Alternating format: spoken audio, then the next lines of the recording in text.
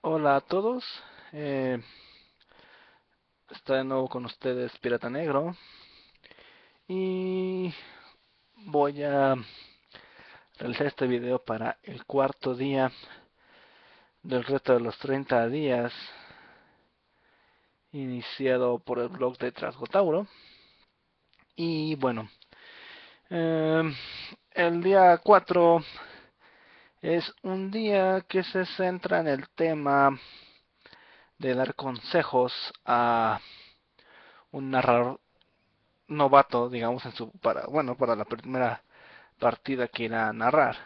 O me parece que ese era el tema. ¿Sí? Ok. Eh, de acuerdo. ¿Qué consejos podría dar? Creo que podría dar muchos, pero debo aclarar que quise hacer un video en vez de una entrada en el blog porque siento que es más libre este formato. Bueno, eh, ¿cuáles son los consejos que puedo dar? Creo que es más fácil para mí decir lo que no debes hacer que lo que debes hacer. Mm, he cometido varios errores al querer ir metiendo a gente nueva en el, en el hobby.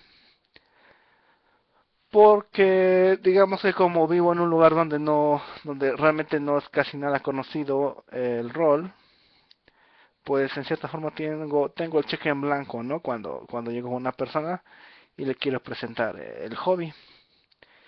Eh, hay cosas que me han funcionado y cosas que no. Lo que no ha funcionado es este y algo que yo no entiendo mucho en especial de los norteamericanos, de los gringos, es que sugieran juegos para iniciar que me parecen muy complicados, o sea, como lo que es Savage Wars, D&D, GURPS, o sea, todo tipo de juegos para empezar a jugar rol, incluso el Fate, se me hace que no son los adecuados. No lo siento así creo que el nivel correcto de reglas que debe tener un juego inicial para realmente alguien que no sabe nada del rol y obtener los mejores resultados. Porque sí, si, si tienes un gran dominio como narrador de lo que es D&D y de lo que es este cualquier del el juego que sea, Shadowrun, lo que sea, pues claro, ¿no? Y si además tienes el pregenerado, un personaje pregenerado listo para el nuevo jugador, pues bueno, va a ser va a ser sencillo y va a ser yo creo que va a ser muy seguro que pueda disfrutar la partida, ¿no? Pero no es lo que yo recomiendo.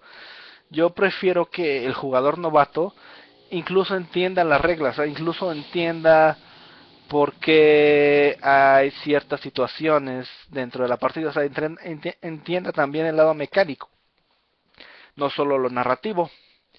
Em, entonces, yo creo que es mucho mejor eh, elegir juegos que son sencillos para que para que el jugador pueda ahora sí no sentirse muy presionado por ese aspecto de las mecánicas, ¿no? Y, y no dependa tanto del, del máster, así que a cada rato se la pasa diciendo, ¿y ahora qué tengo que tirar? ¿Y ahora qué tengo que tirar? ¿Y qué dado? ¿Y qué dado? ¿Y qué dado? Y eso me pasa mucho con juegos que son relativamente muy sencillos y conocidos como D&D, incluso. Entonces siento que juegos más complicados, que hay muchísimos más, este pueden ser una traba para el jugador inicial, ¿no? Porque yo digo, y también para el narrador inicial, porque, o sea, finalmente, más para el narrador inicial, porque finalmente, si vas a empezar a rolear un juego, aunque sea un juego en el que tengas mucha experiencia, el que ya hayas participado en varias partidas, yo recomiendo que primero que tú narres sea un juego que tenga pocas reglas, que tenga incluso ya la historia dentro del propio título, y que, y que no sea complicado, ¿no? Que sea algo, algo fácil. Por ejemplo, se me ocurre Lady Blackbird. Siento que es un excelente juego para un narrador novato. Es, se puede leer en poco tiempo. Cada hoja de personaje trae las reglas del juego. Y es un juego que comparte tanto elementos eh, de mecánica de éxito y fracaso con tiradas, como también elementos de, ¿qué se podría decir? Eh, de narración, ¿no? Entonces es, es bastante, es una propuesta que me gusta mucho porque también no es muy extensa, ¿no? Me parece que Lady Blackbird es menos de 20 hojas, todo el, el, documento, el libro, y además es gratuito. Eh, voy a poner un enlace para que lo puedan descargar los interesados. Igual, otro recurso que me gusta mucho usar, sobre todo para cuando planeo partidas introductorias a, mucha gente, o voy a ir a, alguna especie de, ¿cómo se puede decir?, de evento friki, ya sea de anime o algún tema relacionado, este es el título de Cazadores de Aventuras, me parece que se llama, que es un documento realizado por la asociación Odisea Astur y es básicamente nada más una aventura con sus reglas de una página, ¿no? Ahora sí, yo creo que ese es el mejor documento para un narrador novato. Empezar con eso, con esas reglas, porque de hecho las mismas reglas te van a obligar a que tú improvises, que tú le tengas que meter más, porque hay muchas cosas en las reglas que no vienen explicadas, muchos elementos. Entonces tú como narrador te vas a ver obligado a crear las cosas al momento y siento que eso sirve como un excelente entrenamiento para otros sistemas más complicados, ¿no? Porque yo sí aconsejo pasar de un sistema sencillo a uno más complicado. No me gustaría mucho un narrador que solamente es bueno para el primer sistema que se aprendió y solo eso. Siento que está bien, está bien especializarse con algún sistema si finalmente es lo que sucede, pero después de haber probado varios, ¿no? ¿Por qué? Porque te puedes encontrar sorpresa de encontrarte un sistema que para ti sea realmente muy cómodo y con el que sientas feliz, con el que te sientas, oye, me encanta dirigir partidas con este título, esto es genial. Pero eso solamente va a pasar si vas probando sistemas, sistemas, sistemas y sistemas, ¿no? Y para ello creo que lo mejor es empezar con un título extremadamente sencillo. Y ya dije dos opciones, ¿no? Que me parecen muy buenas. Y otra más es otro que se llama Goblins y Grutas, que es una versión de D&D extremadamente sencilla en reglas y en todo.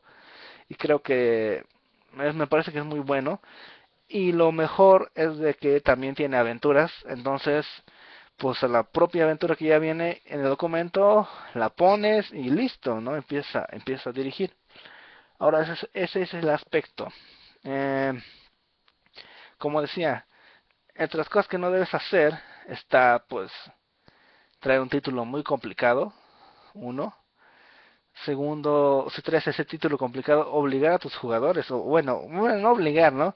Sino decirle a tus jugadores que hagan sus personajes, o sea, apoyarlos a hacer sus personajes. Siento que eso te puede llegar a quitar incluso dos horas de, de, de juego, porque tú, por ejemplo, puedes decir, no, realmente con D&D me toma media hora hacer un personaje. Sí, pero ahí estás tomando en cuenta de que estás con una persona, un jugador, que al menos al menos cuando está haciendo su personaje, tiene una mínima idea de lo que está haciendo. O sea, aunque no, esté, aunque no se sepa las reglas, por lo menos sabe por qué está sentado contigo llenando esa hoja.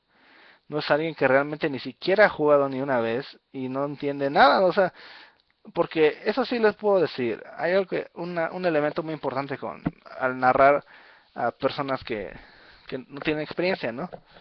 Eh, y esto va a ser que no se sientan mal por las miradas de este tipo está loco, ¿no? O sea, ¿qué le pasa a esta persona? Es una reacción que yo siento que es muy común para personas que tienen, que tienen ser experiencia en rol.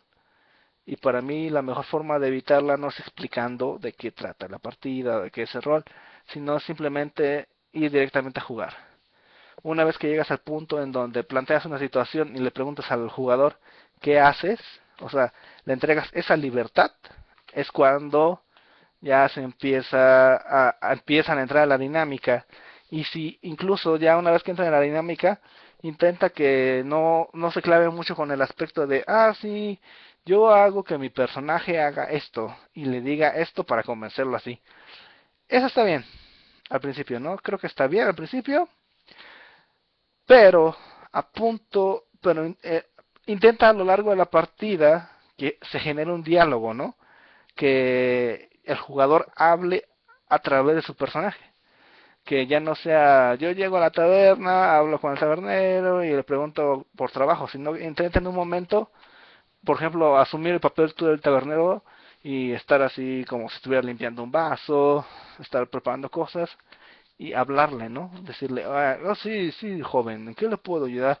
Para intentar que dialogue contigo como su personaje, este, estar buscándolo, ¿no? No tanto, yo no soy tanto de explicar, sino yo soy más bien de, de que por la intuición los propios jugadores se vayan dando cuenta de cómo son las cosas, porque yo siento que explicar no sirve al final, ¿no? Que es la experiencia más la que les va realmente a calar, o les va a hacer que sepan si les gustan o no les gustan los juegos de rol. Y también aclararles que esto estilo de narración, ¿no? De que hay muchos estilos diferentes. Bueno, esto es para un narrador que digamos va a narrarle a alguien también sin experiencia, pero ya para un narrador novato que estás en tu grupo, bueno, ahí creo que los consejos van a ser más específicos. Mm, sobre el sistema se queda lo que ya, lo que ya había comentado. Me parece que es mejor un sistema sencillo, eh, aunque no sea muy conocido es muchísimo mejor a un sistema conocido que sea complicado. O sea, no, no le veo el caso. Yo siento que es mucho mejor eso, ¿no? Eh, para tus primeras partidas como narrador, yo te sugiero one shots. Un error que cometí al ser un narrador novato es hacer de one shots campañas. Porque siento que uno cuando empieza a narrar quiere ser muy épico, ¿no? Quiere, quiere que los jugadores vayan desde el principio hasta un punto donde, donde lleguen a, a lograr grandes cosas, ¿no? Eh, entonces siento que, que eso a veces no es muy bueno porque no tienes toda la experiencia para llevarlos allí sin que, ¿cómo se puede decir? Sin que se sienta que los diriges o que los arrastras a un lugar, ¿no? Como que estás aprendiendo a narrar. Estás, ahora sí que eres un narrador eh, principiante, ¿no? Entonces creo que es mucho mejor quitarte presión y simplemente contar partidas de máximo dos o tres sesiones, ¿no? Incluso usar módulos o no usarlos también es algo válido. Pero yo creo que por lo menos cuando vas a crear una campaña, por lo menos tengas tengas claro cómo va a iniciar y cómo te gustaría que terminara. Lo de cómo te gustaría que terminara es un punto que tienes que tener de referencia pero no casarte con él porque los jugadores pueden ir cambiando la partida con sus acciones de forma brutal.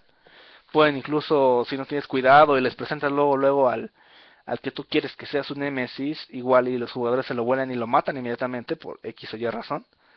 Porque así como, ah, si un brujo llega a ofrecerles un trabajo y tú les describes, ah, sí, es un brujo que tiene un ojo blanco y que tiene las manos demacradas, los dientes amarillos, o sea, como que das muchos mucho elementos que dan a dejar en claro que esta persona no es tan buena gente. Tal vez muy cliché, pero, o sea, uno es un narrador principiante, ¿no? O sea, vas a depender mucho de los clichés. Y entonces un jugador que tal vez tenga más experiencia o que simplemente lo sienta va a decir, eh, le entierro la espada, ¿no? Y tú ya como narrador ya, ¡pum!, se acabó tu aventura. Pero, digamos, se acabó esa aventura. Porque yo como digamos, yo sé que muchos de los compañeros que me están viendo, este, muchos narradores con experiencia van a decir, ok, matan a este tipo, sí, sí era un hechicero, pero este hechicero tenía una maldición y o no sé qué, un hermano, la la la, o sea, o sea, como que los es posible que de una situación que aunque tú hayas planeado, los pueda llevar a otra y luego a otra y luego a otra, o sea, que, que la aventura no se termine como tal, o que los puede llevar al final que habías pensado, pero de una forma diferente, ¿no? O sea, respetando los cambios que, que han estado haciendo los jugadores. Eh, igual, otro consejo para los narradores novatos, yo creo que algo que podrían hacer es no no clavarse no clavarse tanto con las voces de los de los penejotas de los personajes no jugadores que vayan creando y, o sea, porque, porque no es tan importante, yo siento al principio tener que hacer varias voces por cada PNJ. Eso sí, yo creo que es importante que para, digamos, un PNJ que ustedes saben que va a estar apareciendo mucho en la historia, darle cierta personalidad, ¿no?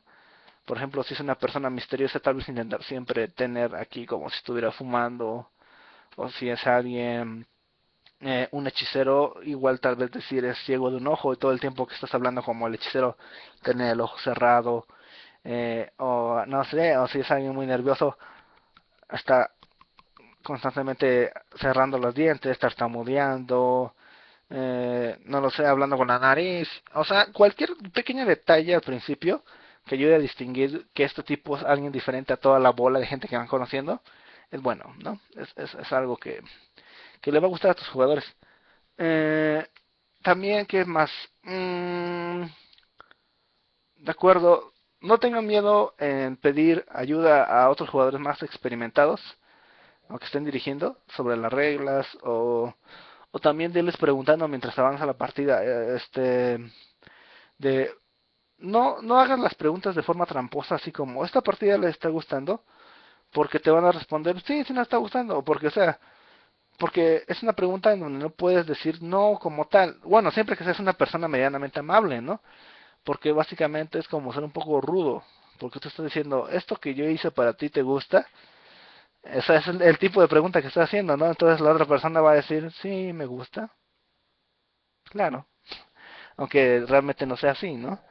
Siento que la mejor forma es este de todo lo que hemos estado haciendo de la partida en general qué es lo que más les ha gustado no o sea de todo esto qué quieren más o qué debería haber menos no o qué personaje les ha interesado o, o en qué les gustaría que sus personajes se enfocaran o sea en una búsqueda en ir a algún lugar o sea intentar intentar ser más este directos con los jugadores y, descubrir qué es lo que les gustaría conocer, ¿no? del mundo que les están presentando. Eh, también otro elemento importante para un narrador novato es aprender a no hacer discutir a dos penejotas al mismo tiempo, porque vas a terminar hablando contigo mismo. O sea, llegas a la sala del rey y no es una buena idea poner a discutir al rey y a la reina, porque los dos eres tú. Entonces si pone así de, oh, ¿por qué has hecho eso? Y luego, oh, es que yo así, como que hacer dos penejotes al mismo tiempo no es muy buena idea porque estás hablando contigo mismo. Pareces uh, como que más estás loco, ¿no? O sea, siento que es mucho mejor este siempre tener a los penejotes importantes separados. O algo que yo, que yo hago mucho si, por ejemplo, hay muchos penejotes en, mismo, en un mismo lugar y estar hablando es yo asumo digamos la, la voz de un de un PNJ importante y, y narro y narro o realizo un pequeño resumen sobre lo que hacen o cómo reaccionan los demás a lo que dice ese PNJ, ¿no? Como yo digo así, este, el cardenal llega ante ustedes y les habla, oh no, yo estoy muy enojado con ustedes porque no han cumplido, la, la, la, la. Y entonces les digo, y el resto de la corte lo asume, sigue discutiendo con él, y o sea, digamos, ¿no? Eso es lo que, lo que les había comentado. Un, uno, un personaje que sí se esté presente y el resto, pues nada más en forma de, de resumen, ¿no? En cierta forma. y creo que sería lo más básico. Y bueno, también lo que ya había comentado, ¿no? Si van a realizar una partida con un sistema que sea un poco complicado, yo sí les digo que es, no es una buena idea hacer, hacer un personaje con los jugadores, es mejor tenerlos pregenerados. También les comento que es una buena idea tener un mapa, algo visual, miniaturas, este, música, cualquier cosa, porque eso va a hacer que los jugadores este, vean con más curiosidad todo.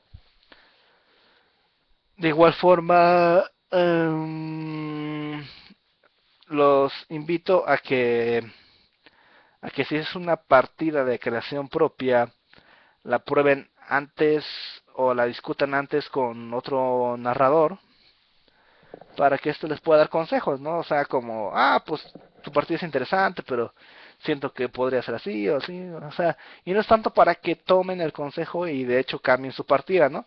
Sino más bien para que escuchen lo que tienen que decirles y ustedes decidan que modifican o que no, ¿no? Y finalmente creo que uno de los consejos más importantes como narrador es asumir que sus jugadores, este, bueno, las, las personas que están en la mesa son jugadores y como tú también eres un jugador, ah, merecen respeto, ¿no? Y no hay que entrar en conflictos con ellos, siempre hay que intentar aclarar en una mesa, sobre todo si van a jugar un juego más serio, como podría ser la llamada de Tulhu, qué tópicos no se pueden tocar en esa mesa, ¿no? Porque puede haber una persona que sea muy sensible a cierto tema por experiencias personales, entonces es bueno saber eso antes de, de querer de querer entrar con partidas más pesadas que tocan temas serios y este y finalmente igual saber respetarse no como como personas y entender como narrador una, una importante y valiosa lección.